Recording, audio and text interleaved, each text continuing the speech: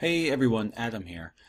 So what I have up now is a stock Ubuntu 14.04 installation and I just wanted to quick, give a quick overview of it just so you can see if this is the desktop environment for you. Now uh, admittedly I'm a little bit biased because uh, for me I really really enjoy using this desktop interface um, and I also like using a tile interface such as the awesome Windows Manager. And honestly depending on my mood uh, depending on the week I bounce between the two quite uh, frequently. Um, and so uh, as far as me showing this off in my workflow and some tips and tricks uh, I'm a little bit more versed in this versus me trying to show off something like Mint. But anyway uh, I just want to give a quick overview to see if this is a desktop environment that you uh, may also like. Now probably in the minority, or at least that's what it feels like. Uh, I feel like a lot of people didn't really like Unity um, and like more of the traditional desktop paradigm. Anyway, uh, first thing I do after a stock installation is I always change the desktop background because all of this purple and orange just annoys the heck out of me. So um, the other thing that I find helpful is getting rid of a lot of this stuff uh, in your launcher that you're not going to use. I like to keep it very, very lean.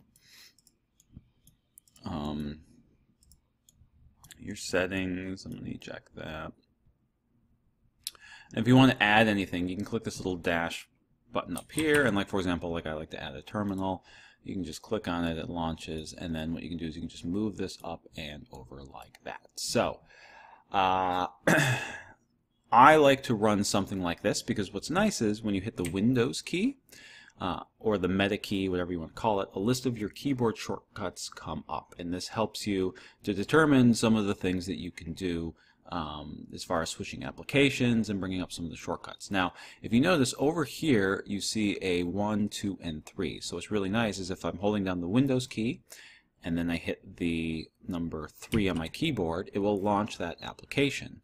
Now, if I've already got that application open, uh, for example, the terminal is uh, under Windows 1. So now if I hit Windows 1, it'll immediately jump to that application.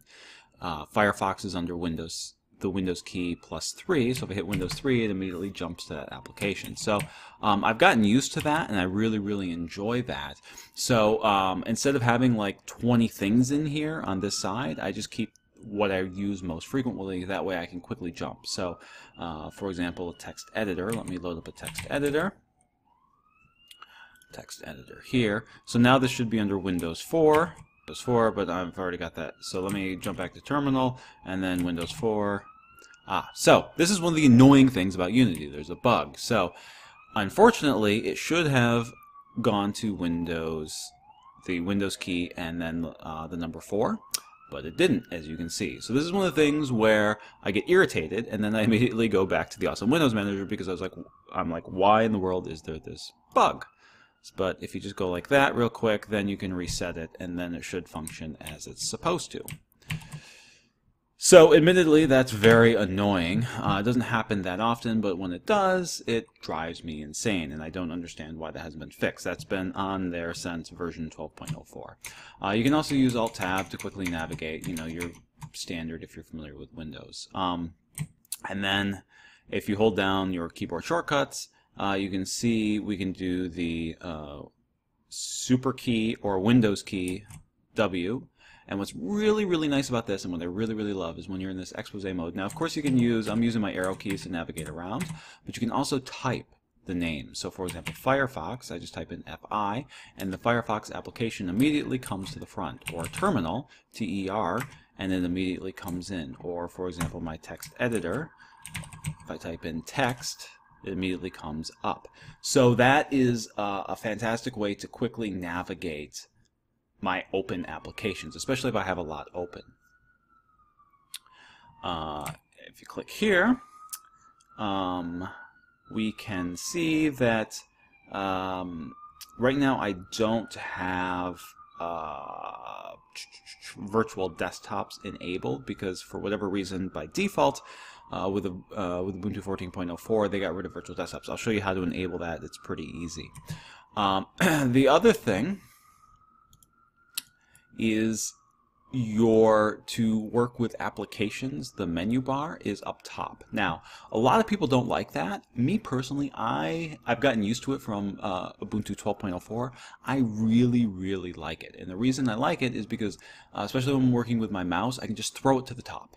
Now admittedly if you have like dual screens and you've got your application way over on the other side then you know so for example you know if i've got my application down there it would be really nice to just click right here for the menu.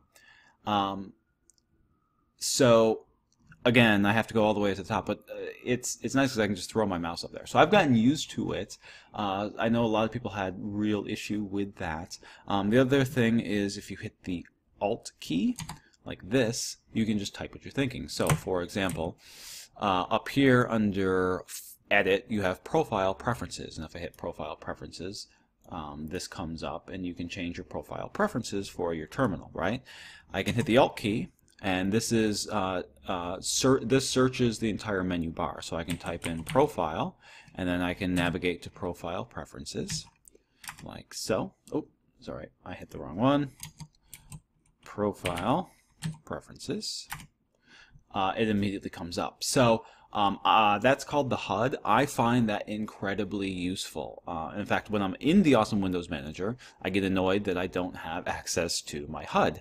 Uh, so then I'll use the Awesome Window Manager for a week, and then I just get annoyed because I don't have my HUD available, and then I go back into Unity.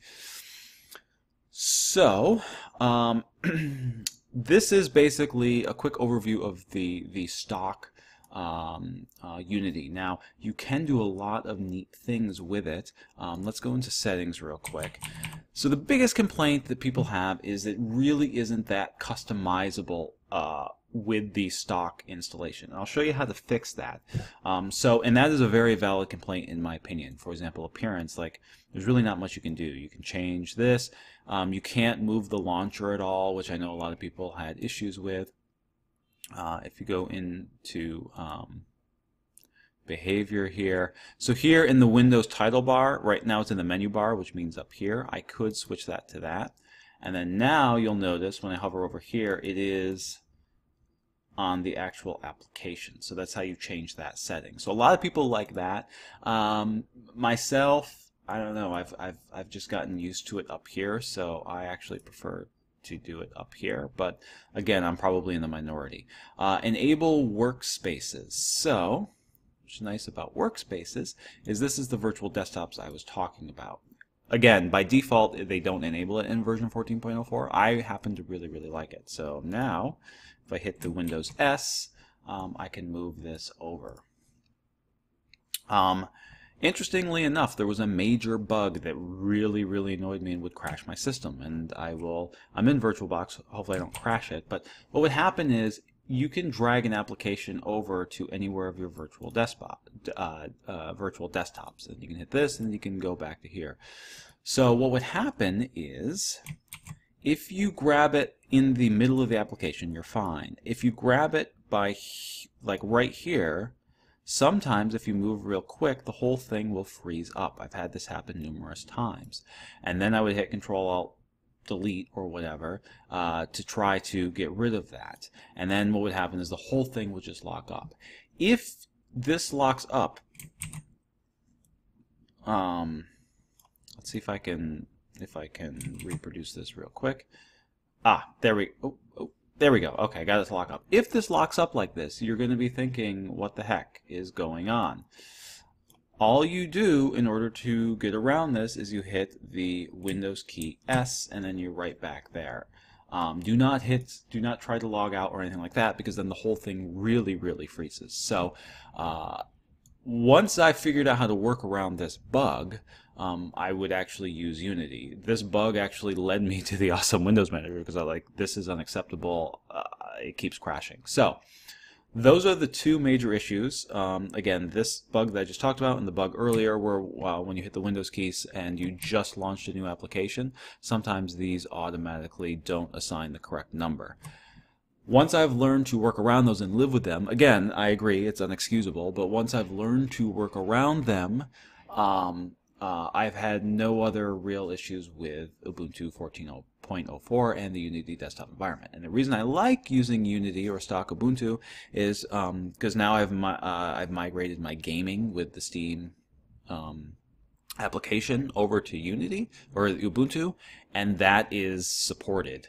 And uh, again, it, it, I, I haven't had issues with LXDE and other desktop environments, but um, I just want to limit that factor of potentially having any issues. So that's why I choose to use Ubuntu and Unity. And again, um, and I'll also log into the Awesome Windows Manager the same way. So uh, that's it for a very quick overview. What I wanted to do is show you some now the power features.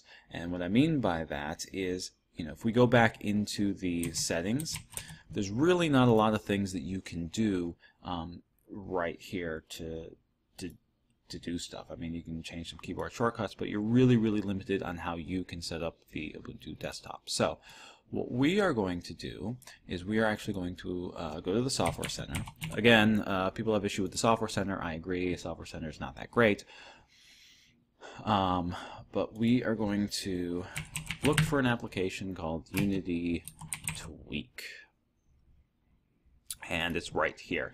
This opens up a tremendous amount of um, of uh, uh, uh, advanced features.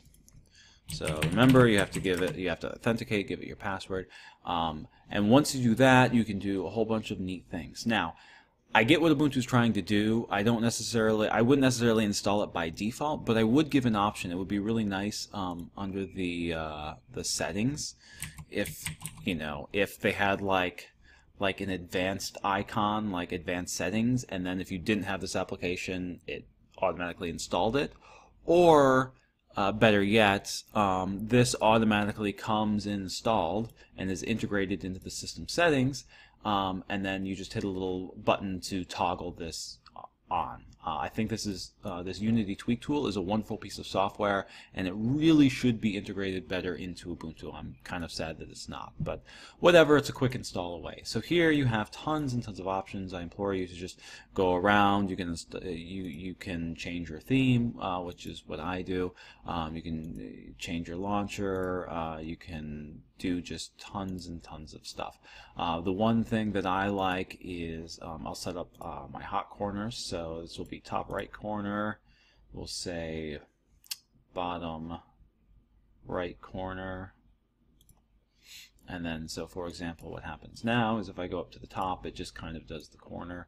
And if I go over here, it does half the screen. So that's really nice.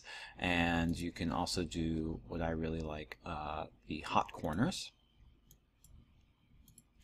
So this will be show workspaces. This will be, uh, oh wait, sorry, show workspaces, window spread, spread all windows. Again, you don't have to set it up this way. This is just me demonstrating. So now when I do this and I move my mouse to the corner, this is what happens. So um, the thing that I have noticed, sometimes when you log out, log back in, your hot corners, for whatever reason, will not work. It's the only bug I've seen in the Unity Tweak tool. Um, not a huge deal, just relaunch the application, go to Hot Corners, and then um, just quickly uncheck and then check this. And then it'll disable it and then re-enable it and then you'll be right back in business. So uh, again, um, I you know play around with this. I think this is um, uh, a great tool and uh, you know, as far as workflow, again, I just keep this lean. Um, I really like the keyboard shortcuts, especially when you have lots of applications open.